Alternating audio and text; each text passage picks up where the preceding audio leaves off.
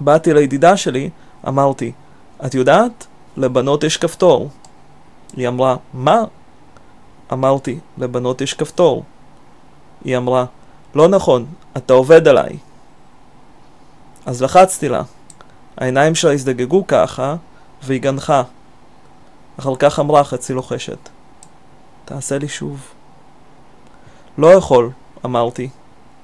בבקשה, היא ביקשה. לא אמרתי, באמת שלא. רציתי רק להראות לך. היא הסתובבה והלכה, ולא דיברה איתי יותר.